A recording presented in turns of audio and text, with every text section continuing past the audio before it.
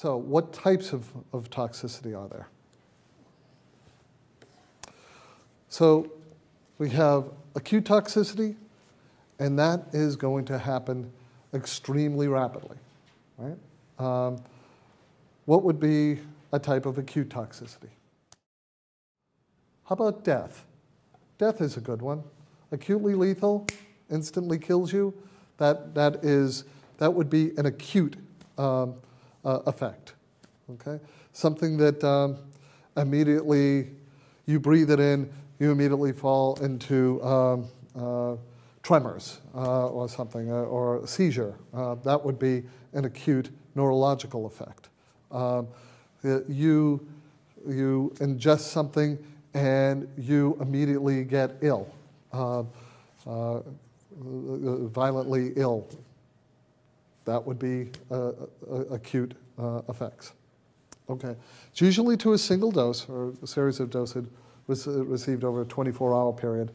Um, and obviously, death is an acute uh, um, concern. Okay. When you start thinking about chronic toxicity, chronic toxicity is something that happens over a longer period of time.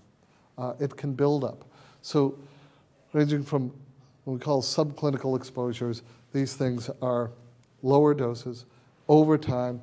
Sometimes you have cumulative damage that over time exceeds a certain threshold that brings about toxicity.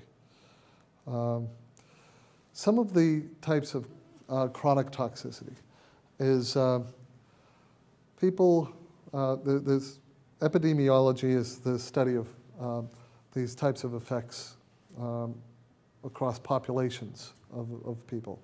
So when we look at workers who had years of lead exposure, one of the, um, the chronic toxic effects is kidney disease chronic bronchitis and long-term uh, cigarette smoking, pulmonary fibrosis and uh, coal mines, black lung disease.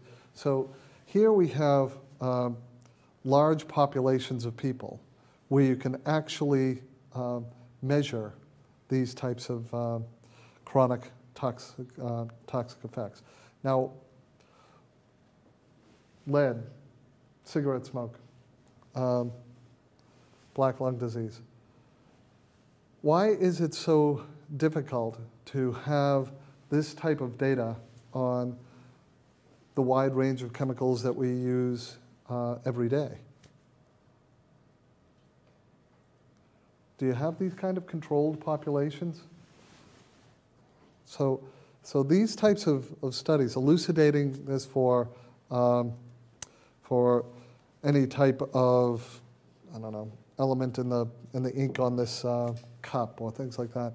You don't have uh, these types of populations which allow for the type of controlled study that you'd want to conduct uh, in order to come to these conclusions. Carcinogenicity. Uh, it's important to know that uh, even though we talk about cancer uh, in, in a very um, monolithic way, uh, that it is not only quite a wide range of, um, I'll, I'll, say quite a wide range of diseases, but it also has a, a multi-stage uh, process that has the common effect of having abnormal and rapid, um, rapid cell, uh, cell growth.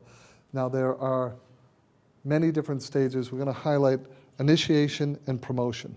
Uh, so chemical agents can help to initiate the uh, carcinogenesis process or it can promote the, the cancer process. These act by different mechanisms, but they're, all, they're both uh, extremely uh, important and necessary to, to cancer.